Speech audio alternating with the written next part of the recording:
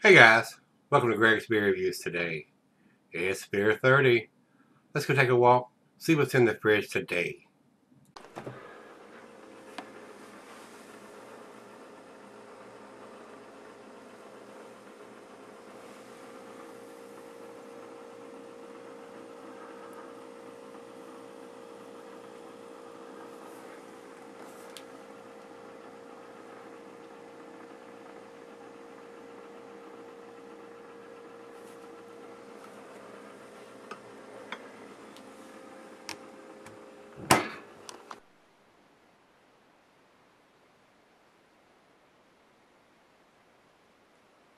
Hello everybody, thanks for stopping by Greg's Beer Reviews today. Hopefully this is going to be a nice treat, especially after yesterday's beer review for the 10,000 subscriber uh, spectacular review.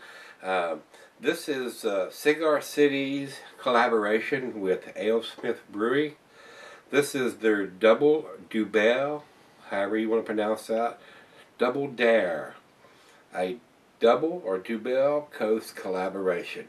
And like I said, this is done with AleSmith Brewery and Cigar City. It's got Cigar City's cap on it, so it was done down in uh, in Tampa, where Cigar City is at. And this is the big bottle, the 750 milliliter. This is a well, it doesn't have the ABV listed there, and I don't think it has it on here either.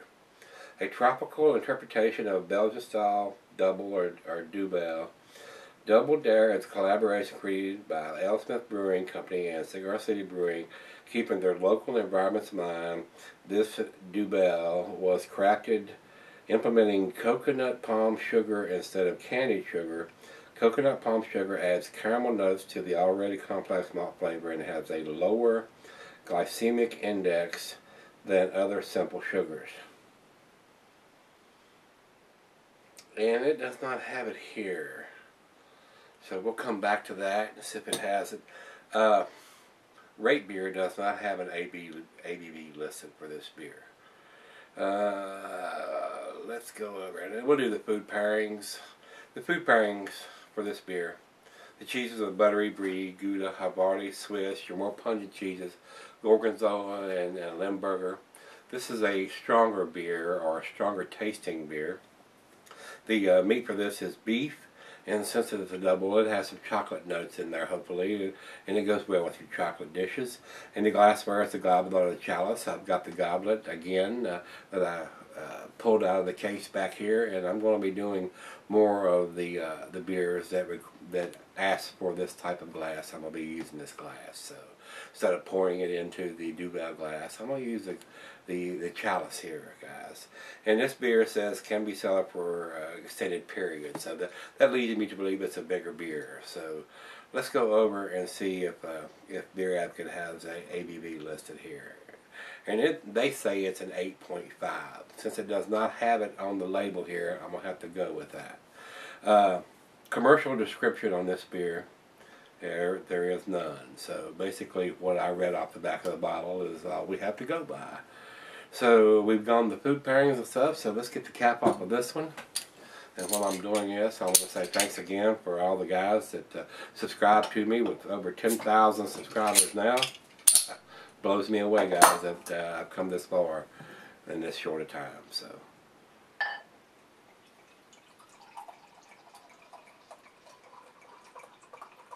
Evidently, y'all like to see this old man drink beer and, and review beers, and I appreciate that. Alright, into the glass it went. Did not pour a very big head, even though we poured it down the center. Over into the light. I can see the light perfectly through it. It's a rich amber color. A lot of bubbles streaming up, which tells me it's fairly carbonated. Not over carbonated, not spew out or, or pour a monster head.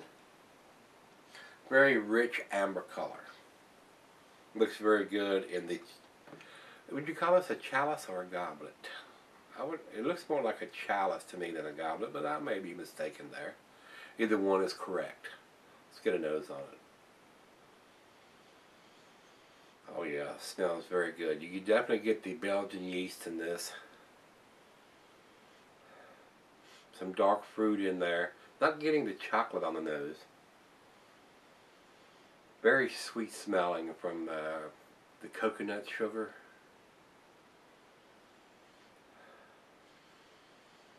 There are some fruitiness to this beer. Uh, I don't know if I would say tropical. Um, and I would not say uh, it's into the darker fruits. Just has a fruity smell to it. Now, once I tasted it, it may lean one way or the other, but in the nose, it just has a has a sweet Belgian smell to it. Little breadiness there. Well, and the head that did pour is gone, so it is dissipated. I mean, it's not even covering the top of the beer. Let's give it a taste. Cheers, everybody.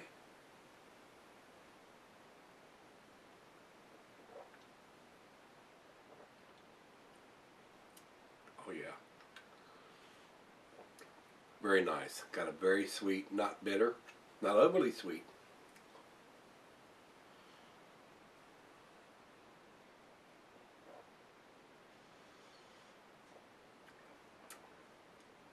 I'm not getting much alcohol at all.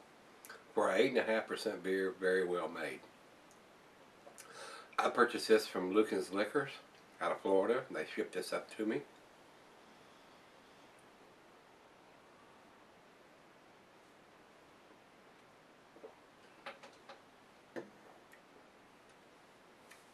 Wow. Very nice. Very delicious.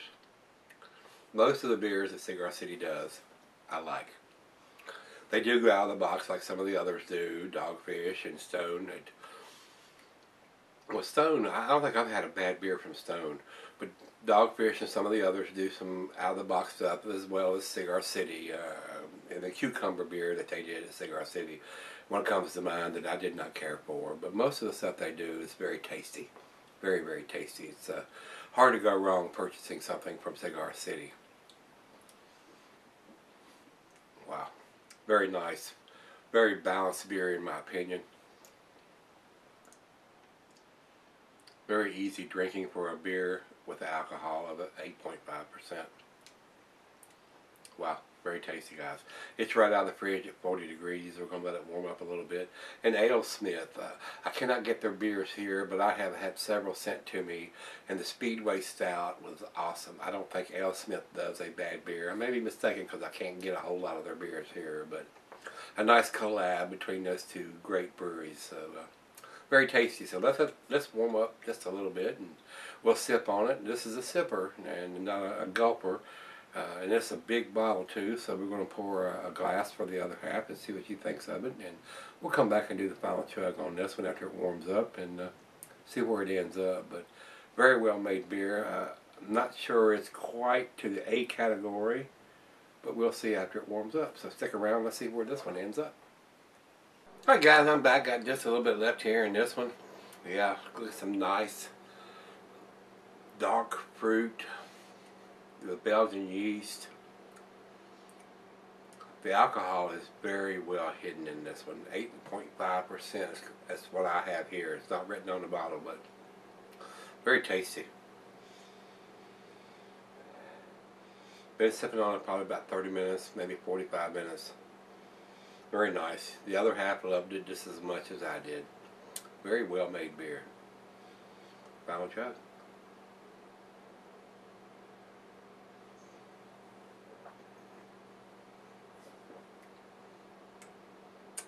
A very nice sweet taste to this. Not overly sweet, but very pleasant. Very easy drinking for a beer with this ABV. 8.5% alcohol is there's a little bit there, but it's not prominent in the beer. I like this one. This it's a very tasty beer. A very nice collaboration between AleSmith Brewery and Cigar City. Uh, another winner as far as I'm concerned, guys. I would give this a 9 out of 10 uh, on the rating tonight. I don't think Cigar City has been dating their beers with some kind of etching on here, and this one does have an etching on it. It says bottled on 10, 17, 13. So for an 8.5% that was done in October, and we're just into January here, very nice. And this beer will cellar very well. Uh, I don't even know why you would want to sour this beer. It is very tasty now. The alcohol is not overly, it's not overly boozy. Uh, very pleasant, very easy drinking. A nice Dubbel as far as I'm concerned. You got the Belgian yeast going on there, which which adds a little bit to to this beer. So uh, I enjoyed this one. It's very nice. Uh, it's not a heavy dark fruit taste. Uh, it's almost a combination in between uh, the darker fruit and a lighter fruit to, me. Uh, I'm getting a little bit of pears and apples, but I'm getting a little bit of the uh, dates and raisins and stuff in this one. So uh, very pleasant uh, and very nice change up on the Dubbel style as far as I'm concerned. Just my opinion. It's not heavy in the dark fruit style as far as I'm concerned. So I enjoyed this one, like I said. I'm going to give it a 9 out of 10. Let's see what everybody else thinks about this one. We'll go over to Beer Advocate first. If I can get my little tablet here to work. Beer Advocate's been running pretty slow here lately. Mean, they've acknowledged they're having some problems. Evidently, their server can't handle what the what demand that their their people or the people that are logging into that beer site can uh, can do. So, and it's still trying to do its thing here. It's just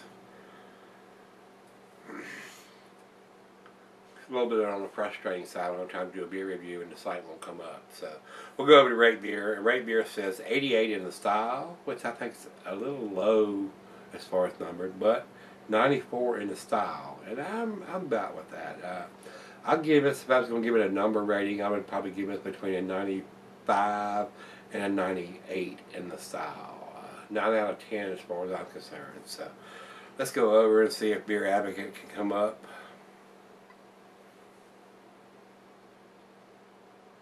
doesn't look too promising right here, guys. Ah, finally. Beer Advocate, uh, Beer Advocate says 84 in the style, which is in the good range. I think those numbers are a little low. Uh, I give more credit to the guys at AleSmith and Cigar City on this particular collaboration beer. Uh, I think those numbers are low. I don't agree with that. I think it's a very good representation of the style. Very easy drinking, very well made beer. Wish I had a little bit more to drink. That's why it's that good, guys. So, with that being said, uh, me, let, let me know what you think about this beer. If you've had this beer, give me some comments back on this one, whether you liked it, didn't like it. I did like it. Uh, don't think it's quite to the 10 scale and I'm, I probably may be a little generous and giving it a 9. It may be an 8 in the scale, but it's got the bottle on date on it, and uh, two great breweries putting this one together for us. So uh, easy drinking, too, for an 8.5% beer. So uh, let me know what you think of it, guys. Hit that like button, rate, comment, subscribe. 10,000 subscribers. Blows me away, guys. I appreciate it. I really do. Uh, everybody that sends me beers to review that I can't get in my area, my hat's off. I had a hat. And uh, we'll see what tomorrow's uh, beer brings. So join me then. We're going to take a walk into the kitchen and see what's in the fridge. Hope you can join me then. See you.